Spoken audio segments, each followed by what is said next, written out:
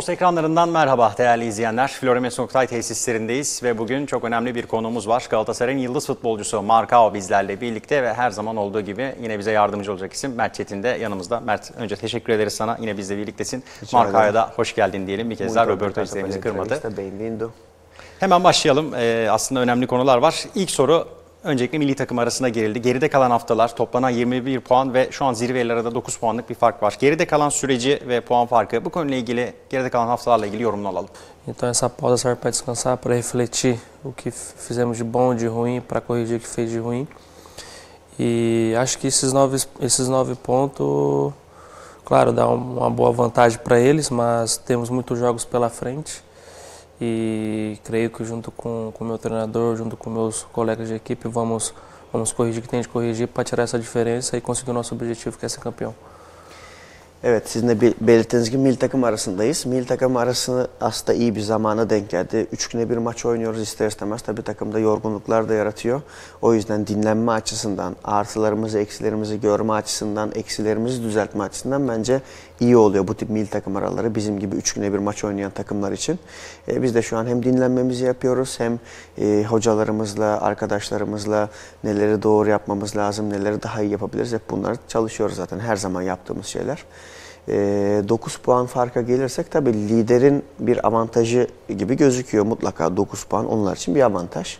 Ama önümüzde çok maç var. O yüzden şimdiden karamsarlığa düşmek, şimdiden e, pes etmek hiçbir zaman bizim zaten ruhumuzda yok. O yüzden daha çok maç var. Bu kapatılabilecek bir fark olarak düşünüyorum. Yeni transferleriyle yaş ortalamasını düşüren bir Galatasaray var. Bunun hem saha içine hem Florya'ya yansımaları Markao'nun gözünde nasıl?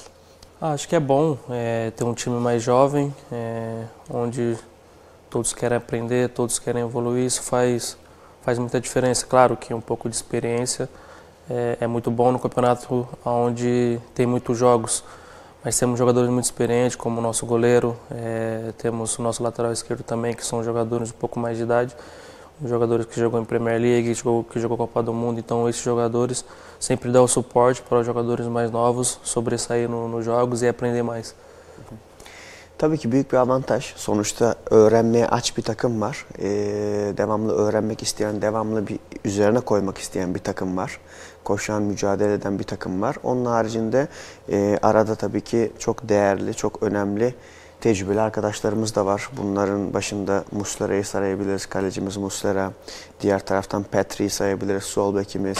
İşte Arda'sı, Petrik'i, Muslera'sı bu tip e, çok önemli oyuncularımız da var. Tecrübelerini bizimle paylaşacak, bizi daha iyi yerlere getirebilecek. Ee, güzel bir karışım oldu bence. Hem genç oyuncuların ağırlıkta olması, arada bu tip değerli tecrübeli oyuncuların olması mutlaka daha da iyi gidecektir takım. Yepyeni bir savunma hattıyla oynuyor neredeyse ve şu an Nelson'la çok iyi bir uyum yakaladı. Nelson'la ilgili düşünceleri neler? Bu yakalanan uyumu neye bağlıyor? Ne etkili? É, as- é, nossa, é, que eu posso dizer?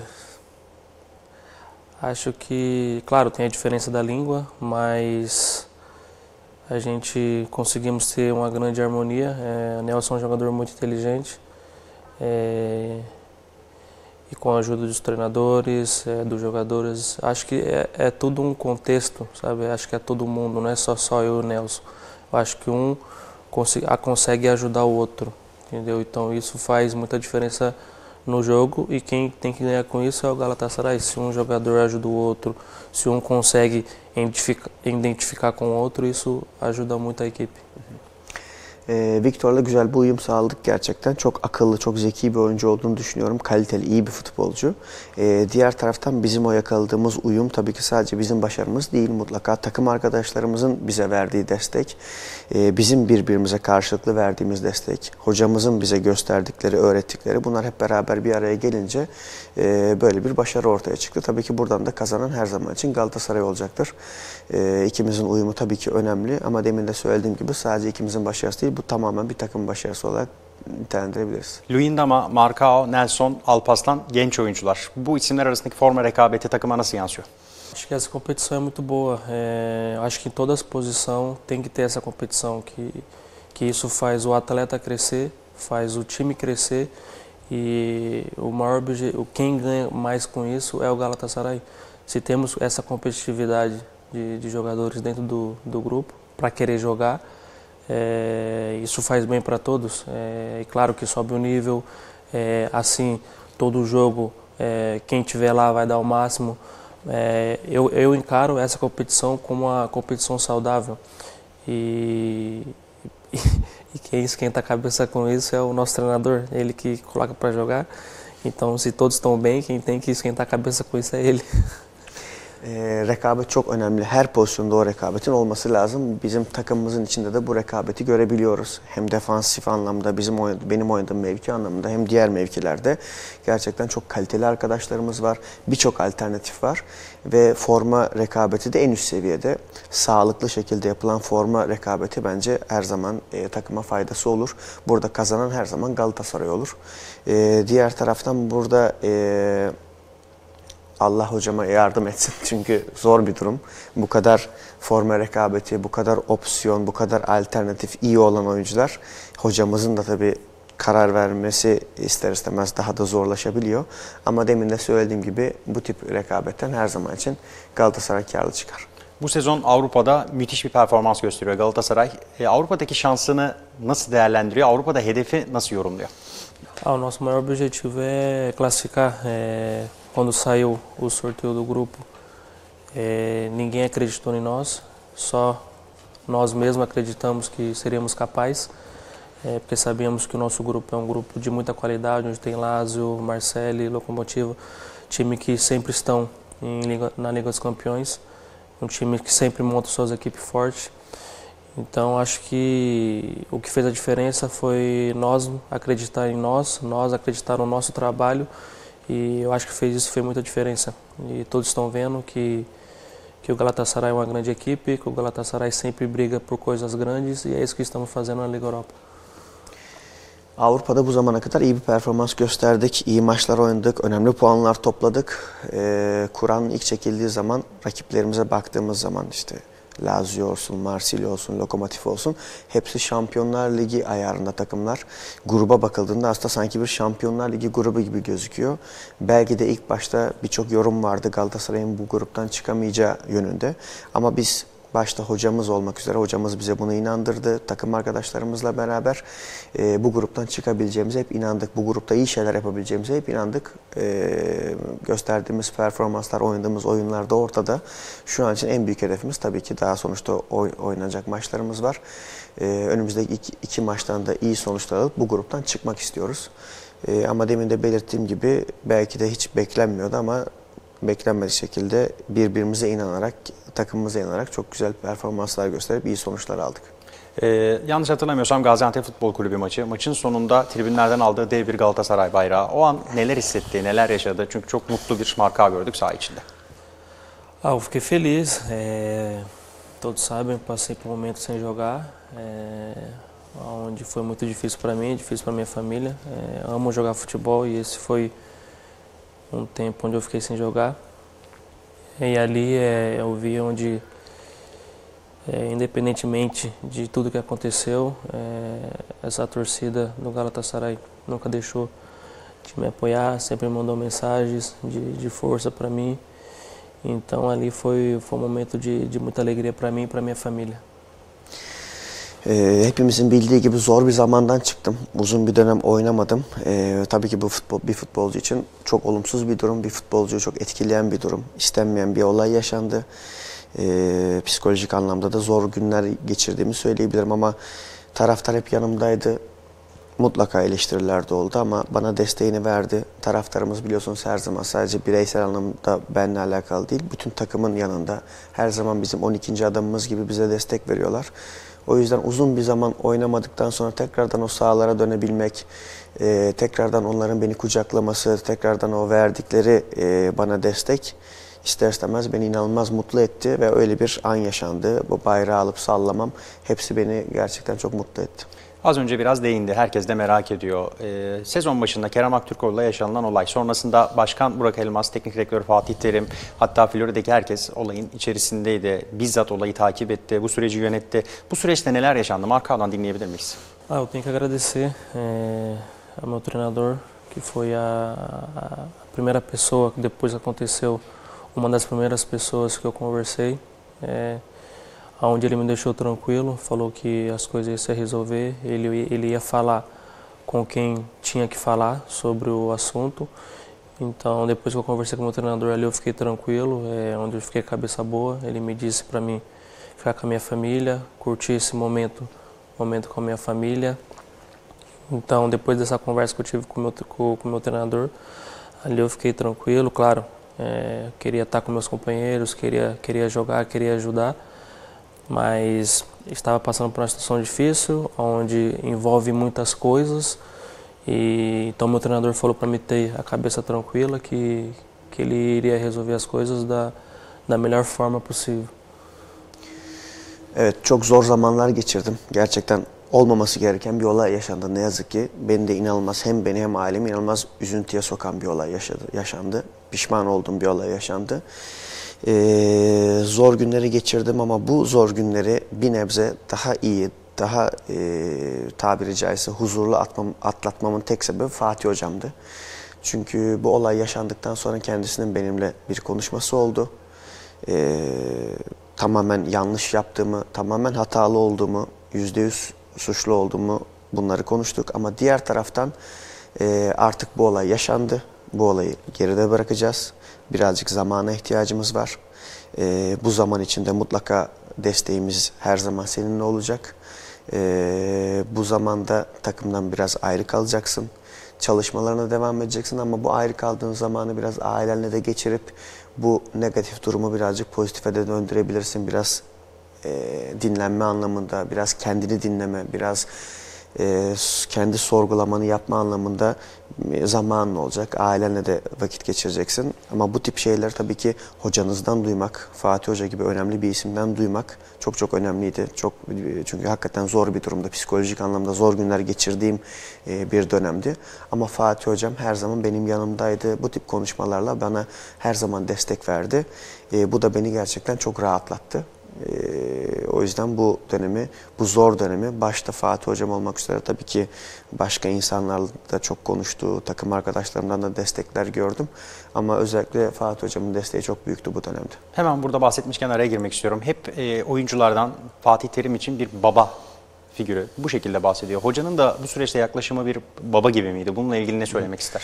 Sim, é, ele realmente para nós é, jogadores é um pai. É, acho que a diferença desse clube é isso, é o nosso líder, é ser tratado como um pai. Essa é a diferença do, dos outros times. Por isso que o Galatasaray tem tanto sucesso, porque esse clube é as pessoas que trabalham nesse clube são tratadas como família. É, se um de nossas famílias está passando por um momento ruim, o outro quer ajudar, o outro quer quer estar do lado, quer dar força. Então, acho que a grande diferença do Galatasaray é isso. Esse clube aqui é, um, é, uma verdadeira é uma verdadeira família. Bence Fatih Hocam'ın en büyük özellikleri, en büyük özelliklerinden birisi de bu. E, futbolcularına, çalışanlarına, herkese sadece futbolcu anlamında değil, Florida çalışan herkese bir baba gibi davranması, bir baba gibi yaklaşması. Kimin başı sıkışsa, kim zora düşse, kim sıkıntılar yaşasa hep yanında olması.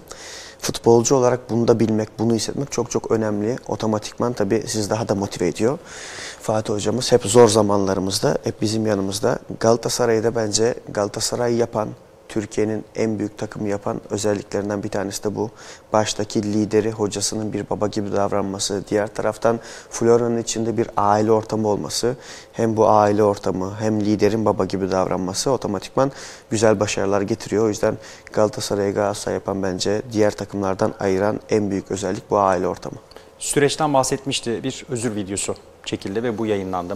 Ne kadar üzgün olduğunu da gördük. Ee, o an neler hissetti? O paylaşılan video belki uzun uzun biraz daha değinmek ister bu konuya. Çünkü çok üzgün olduğunu görmüştük. Não, eu fiquei triste, fiquei arrependido. é, acho que o que aconteceu tomou, tomou uma grande, uma grande proporção que eu não esperava. E depois pensando sozinho, pensando com a minha família, é, eu vi é, o erro que eu tinha cometido. Mas graças a Deus passou, é, conseguimos resolver e estamos seguindo em frente. E, Gerçekten inanılmaz üzüldüm. Zaten bunu videoda da görebiliyorsunuz. Ee, diğer taraftan çok pişman oldum. Kesinlikle hatalıyım, yapmamam gereken bir şeydi. Ee, hem yaptığım videoda biliyorsunuz Kerem'den, ailesinden özür diledim. Ee, yapmamam gereken bir hatayı yaptım ama insanlar ne yazık ki bazen duygularını kontrol edemiyorlar, bazen reaksiyonlarını kontrol edemiyorlar ve bu tip hatalar meydana geliyor. Çok çok üzüldüm. Ee, hem kendi başıma düşünme fırsatım oldu, hem kendi öz eleştirimi yapma fırsatım oldu. Ailemle beraber, sevdiklerimle beraber konuşma, öz eleştiri yapma fırsatımız oldu. Ee, demin de belirttiğim gibi çok zor bir dönemdi. Çok üzüldüğüm ve pişman olduğum bir dönem geçirdim. Bu konuya son noktayı koymadan şunu da sorayım. Ee, aslında biz hem koridorda hem saha içinde Kerem'le Markao'nun diğer oyuncularla olduğu gibi ne kadar yakın olduklarını görüyoruz. E, zaman zaman tabii aralarının düzelmediği konuları da konuşuluyor ama belki de bu konuda son noktayı koymak ister Markao. Aralarında bir problem kaldı mı kalmadı mı? Bununla ilgili ne söylemek ister? Não, não tem nenhum problema. É, eu acho que esse tipo de pessoas que, que querem criar problema é para é para criar confusão dentro do clube, para criar confusão entre os torcedores e não é nada disso, já resolvemos isso, isso já passou, somos profissionais e estamos seguindo em frente. E, siz çok yakınsınız biliyorsunuz bize. Maçlarda görüyorsunuz. Herhangi bir problemimiz yok. İçeride olan arkadaşlarımız, bütün çalışanlarımız hepsi bunlara şahit zaten antrenmanlardaki ilişkilerimize, maçlardaki ilişkilerimize hiç problemimiz kalmadı. İkimiz de profesyonel oyuncularız. zaten daha önce de bir problemimiz yoktu. İkimiz de profesyonel oyuncularız. Ee, aynı amaç için mücadele ediyoruz. Galatasaray'ın başarısı için mücadele ediyoruz.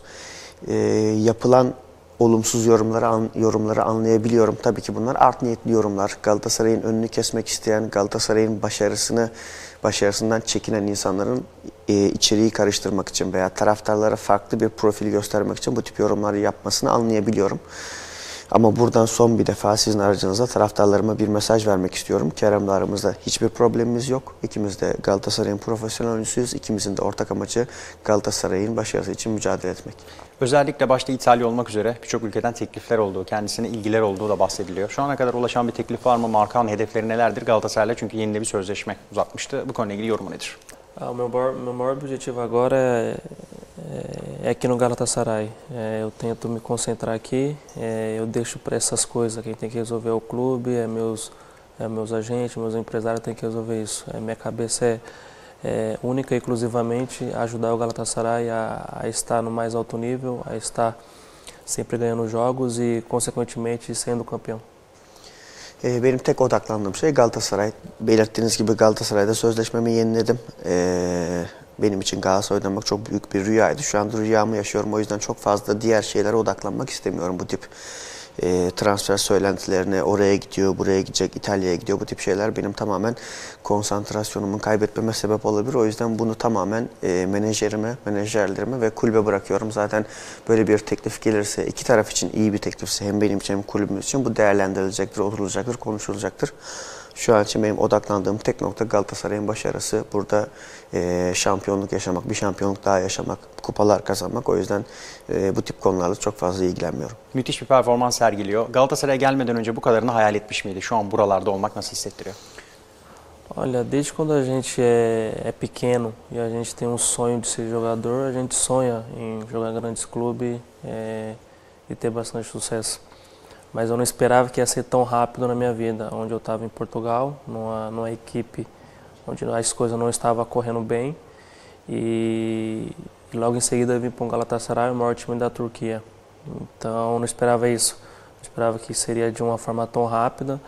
É, então eu fiquei até meio, meio no início um pouco surpreso, mas eu soube lidar bem com isso, minha família também soube lidar bem com isso e graças a Deus hoje a gente está tendo, tá tendo sucesso.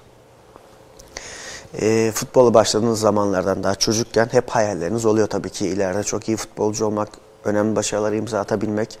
Mutlaka benim de hayallerim vardı çocukken. E, ama hayallerimin bu kadar çabuk gelişebileceği, bu kadar çabuk bu seviyeye gelebileceğini hiçbir zaman tahmin etmezdim. E, Brezilya'dan Portekiz'e gidiyorsunuz. Portekiz'de çok başarılı bir dönem geçirmiyorsunuz. E, oynadığınız takım çok e, başarıları olan bir takım değil ve bir anda kendinizi Türkiye'nin en büyük camiasında buluyorsunuz. Avrupa'nın önde gelen e, camialarından birinde buluyorsunuz. O yüzden kolay değil mutlaka ilk başlarda buna adapte olmak, bunu e, en iyi şekilde yaşayabilmek biraz zamana ihtiyacınız olabiliyor. E, ama burada gördüğüm des- destek, ailemden gördüğüm destekle beraber bu dönemi çabuk atlattım. Ve demin de söylediğim gibi yani bu kadar çabuk, bu kadar hızlı bir şekilde e, bu, bu rüyanın gerçekleşebileceğini hayal etmezdim. E, milli aranın sona ermesiyle beraber çok önemli bir maç. Fenerbahçe derbisi. Bu maçla ilgili Markan'ın görüşü nedir? Ah, É, para mim é o maior clássico do mundo, é, onde envolve muitas coisas, envolve muita paixão entre os torcedores, muita rivalidade. Então vai ser um jogo muito difícil, é, mas estamos jogando em casa, somos, somos o Galatasaray, temos que propor o jogo, temos que ser é, muito forte, muito agressivo é, e muito mais inteligente e, e ter sabedoria. Esses, esses jogos tem tem que ser muito inteligente. Então, é, vamos trabalhar bem, esperar os nossos jogadores voltar das seleções, trabalhar bem pro, pro grande jogo. Ee, bence dünyanın en büyük derbisi olarak adlandırabiliriz. Daha önce oynadığım bir derbi olduğu için bunu rahatlıkla söyleyebiliyorum. Dünyanın en büyük derbisi. Ee, Birçok duyguyu içinde barındırıyor. Bir maçtan daha fazlası inanılmaz hırslar var. Ee, taraftarların bakış açısı çok farklı. Bu tip maça biliyorsunuz bizim taraftarlarımızın onların taraftarının. O yüzden çok önemli maç bizi bekliyor. Ee, kendi sahamızda oynamanın bir avantajı var. Çok büyük bir avantajı var. Stat full olacak. Taraftarımız hep bizim yanımızda, yine bizim yanımızda olacak. Bize desteğini son dakikaya kadar vereceklerdir. Ne olursa olsun hep bizim yanımızda olacaklardır. O yüzden onlara da çok ihtiyacımız olan bir maç. Çok zeki oynamamız gereken bir maç. Milli takım arası var biliyorsunuz. Şimdi milli takımdan dönen arkadaşlarımızın durumu da çok önemli. Umarım da onlar bir an önce milli takım takım maçlarını oynayıp sağlıklı bir şekilde aramıza katılırlar. Biz de Fenerbahçe maçına kadar en iyi şekilde hazırlanır. Ee, çok güzel bir performansla umarım taraftarlarımızla beraber güzel bir derbi galibiyeti alırız. Derbide Galatasaray'ın en büyük artısı göre nedir? Nossa maior vantagem é de estar jogando em casa, é, diante da nossa torcida. é, eles nos ajudam, eles nos incentivam o tempo todo, independentemente de do que está acontecendo dentro do jogo, eles nunca deixam de nos apoiar. Então esse é um dos fatores que nos deixa mais forte para o clássico. E claro, é, eu acho que uma das nossas maiores virtudes é, é a defesa. Se você puxar estatística, é, nossa defesa está muito sólida. É, então acho que isso é um da, uma das nossas forças para o clássico. Buradaki en büyük artımız, en büyük avantajımız daha önceki sorularda da söylediğim gibi taraftarımız. 12. adamız bizimle her zaman yanımızda, e, bizimle her zaman beraberler. Nerede olursak olalım, nerede oynayasak olalım, e, her sonuçta iyide de kötüde de bizimle beraber olan bir taraftarımız var. O yüzden onlara Fenerbahçe maçında çok ihtiyacımız var. Birinci dakikadan 90. dakikaya kadar bize destek vermelerine, bizim yanımızda olmalarına çok ihtiyacımız var. Onlar bizim yanımızda olduğu zaman biz daha motive oluyoruz, daha iyi oynuyoruz. E, o yüzden en büyük avantajımız o.